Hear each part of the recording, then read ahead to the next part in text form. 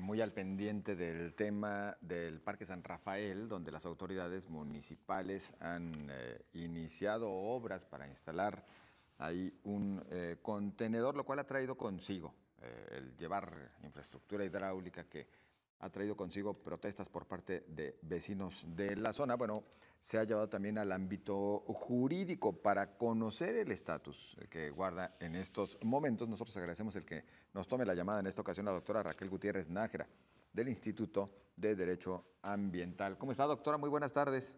Hola, buenas tardes, José, a ti, a tu público, aquí con ustedes. Pues platíquenos, doctora, porque hay avances y al parecer, bueno, también hay algunos logros importantes para los vecinos que pues han acudido a otras instancias para su defensa.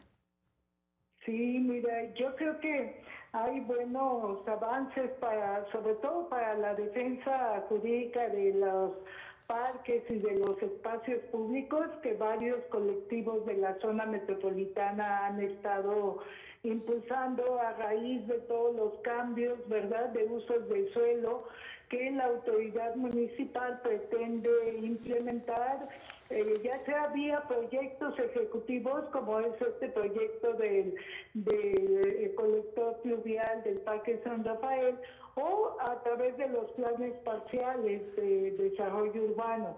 Eh, como sabemos, nada más para recordar a nuestros eh, público que desde este principios de este año la gente de San Rafael y colonias aledañas se organizaron para defender precisamente este parque San Rafael que había sido objeto de varias intervenciones municipales y estatales en el marco de los Juegos Panamericanos, ¿no? Que, de, los cuales fue sede Guadalajara donde ellos se oponían a que toda la cancha de béisbol, que son más o menos cuatro hectáreas, eh, se hiciera un vaso regulador lo que implicaba impermeabilizar toda esta área de cuatro hectáreas para eh, canalizar, colectar el agua y supuestamente nos inundaran. La primera pregunta que ellos hacen, no nos inundamos nosotros aquí, sino es aguas abajo. ¿Por qué no se hace allá? Y empezó este diferendo con la autoridad municipal acuden al IDEA y eh, a través de un amparo eh, nosotros pedimos la suspensión de los efectos y consecuencias de este proyecto pluvial eh, para efectos de que mantuvieran las cosas como están, es decir, que no se hicieran excavaciones, levantamientos de tierra, se tumbaran árboles, etcétera, para el vaso regulador de captación de agua pluvial. Eh, eh, en, un principio costó mucho obtener la suspensión, ya que la obtuvimos, el juez de distrito dijo, está bien, parecen las obras, pero después el ayuntamiento uh, se apersona con varios, algunos vecinos, otros no tan vecinos, de gente que vivía también en las colonias, diciendo que son terceros perjudicados y que a ellos les beneficiaba eh, la obra. Entonces fue cuando el juez pone una fianza de cuatro, de un millón de pesos al colectivo de San Rafael para que la suspensión surtiera efectos. Pues nosotros sabemos que un millón de pesos para gente que está defendiendo espacios públicos pues era casi imposible, ¿verdad? Entonces la gente se organizó pues para visibilizar esta situación y nosotros recurrimos esto pues vía los recursos que nos otorga la ley. Finalmente, el tribunal colegiado, a fines del mes pasado, de agosto, eh, con una votación de 2 a 1, resolvió que los terceros perjudicados no eran parte de la suspensión porque no habían acudido al amparo. Y entonces, al resolver esto, pues prácticamente se queda sin efectos la garantía y se hace efectiva la suspensión definitiva que ya les había otorgado el juez a los eh, vecinos del Parque San Rafael. Entonces, eso es donde estamos, por eso los ciudadanos, los colonos fueron ayer a, a decirles a quienes estaban realizando la obra que ya pararan. Y aquí es interesante decir, José, porque ellos ya sabían, ya les habían notificado y aún así siguieron trabajando. ¿No? Entonces, bueno, aquí se ve a veces un poco, como decimos en términos llanos, la mala leche, ¿no? Porque como autoridad, pues son los primeros que deberían de respetar la ley y sin que los ciudadanos le exijan cumplirla. Pero pues ahorita sí tenemos paradas de nueva cuenta las obras de este proyecto eh, pluvial en San Rafael y esperando pues este em, irnos eh, seguir fortaleciendo con las pruebas los peritajes el fondo del amparo para que la autoridad pues resuelva al final eh, sobre la violación a las garantías y derechos fundamentales de los vecinos con esta obra. Oiga, maestra Raquel Gutiérrez Nájera, y después de, esta resolución que nos dice de 2 a 1, donde los terceros perjudicados pues no son parte de esta suspensión, eh, nos dice que las obras están paradas. Y esto fue a finales de agosto, ¿verdad? Así lo comentó.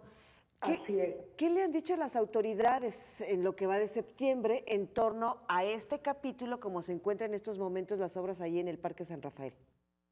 Sí, fíjate, Josefina, a ellos les notifican entre fines de agosto y principios de septiembre y siguen trabajando y apenas a nosotros nos notificaron antes, así y ya fue cuando los vecinos pues fueron el día de ayer a parar las obras. Eh, así como están ahorita, pues seguían haciendo lo del colector de aguas pluviales en la cancha de béisbol y seguían sacando tierra, seguían afectando los mantos acuíferos, porque esto que obvio que va a impermeabilizar y va a agudizar la problemática en esta zona. Porque al, no haber una zona de recarga tan importante como era la cancha de béisbol, pues estamos impermeabilizando más áreas. La autoridad ahorita este, no, no nos ha eh, como dicho nada de manera eh, directa, eh, al principio decían pues que ya creando como confusión con los vecinos y las vecinas diciéndoles que ya habíamos perdido el amparo, que ya no tenía caso, ¿no? Y pidiéndoles el voto por el señor Alfaro. Yo decía, bueno, pues qué, qué contradictorio, ¿no? Una autoridad municipal que se jacta de hacer una gestión integral de la ciudad, pues no puede ordenar el territorio de esta manera como lo está haciendo. Eh, no olvidemos pues todos los desastres que nos han ocurrido con todas las lluvias, Josefina, que todos los expertos que yo he leído, geohidrólogos, urbanistas, ¿no? Principalmente que dicen que es por la urbanización y la impermeabilización acelerada que estamos haciendo.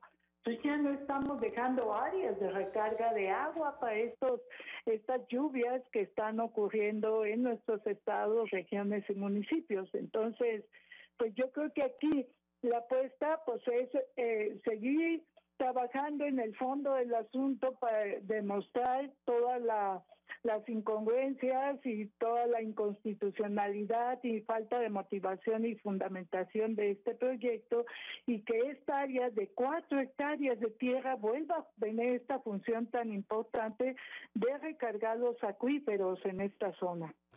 Bien, doctora, pues entonces un avance más dentro de la defensa del Parque San Rafael y por supuesto que nosotros nos mantendremos en contacto y al pendiente de, este asunto.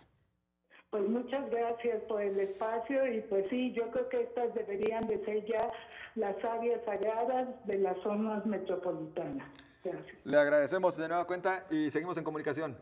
Hasta luego, buen día. Muy buen día, muchas gracias a la doctora Raquel Gutiérrez eh, Nájera por esta participación, como parte del Instituto de Derecho Ambiental. Nosotros avanzamos.